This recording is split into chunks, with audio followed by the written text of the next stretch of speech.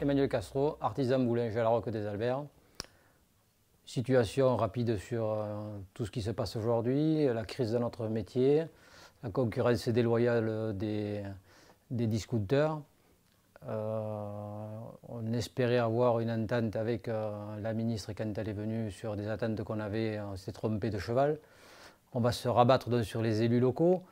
grosse difficulté à l'embauche avec du personnel qualifié. Gros problème avec l'apprentissage vu la difficulté avec la législation qui est en cours sur les contrats de travail, pouvoir débaucher beaucoup plus facilement alors que c'est une contrainte énorme. Aujourd'hui, il faut embaucher avec un avocat, débaucher avec un avocat.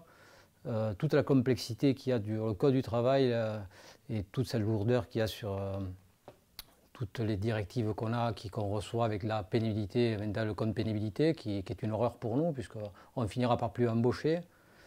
Quoi vous dire d'autre le gouvernement qui nous remet sur la table en permanence des, nouveaux impôts, des taxes.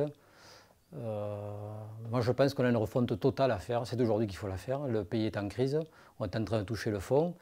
si on n'a pas un moment de réflexion et pour repartir de l'avant, je ne vois pas comment on pourra s'en sortir autrement qu'en faisant un tournant complet, revoir tout ce qu'il y a sur cette législation du travail qui plombe nos entreprises. Euh, le CIE, c'est bien, mais pourquoi faire compliqué comme on pourrait faire beaucoup plus simple? Simplement juste en, diminuant les charges sociales, un tour de table sur euh, le besoin de l'État pour faire tourner la machine et, notre besoin à nous pour pouvoir faire avancer cette société qui a besoin d'hommes.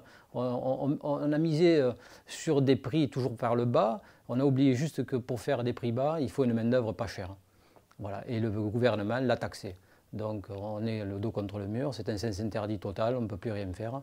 Euh, L'Europe, elle, qui est discuteur bien évidemment sur les prix de sa main-d'œuvre, donc nous inonde de leurs produits. Euh, on a une société qui se trompe totalement, euh, que du pas cher, toujours en tirant vers le bas.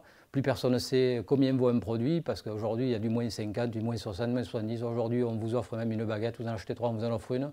Plus personne ne sait où on en est, on a perdu tous nos repères faute à l'État d'avoir fait croire aux gens pendant 30 ans que l'État pouvait tout, donner, que l'entreprise était l'ennemi de la société, alors que c'est une grossière erreur, c'est elle qui fait avancer la société. Les patrons ne sont pas tous des voyous.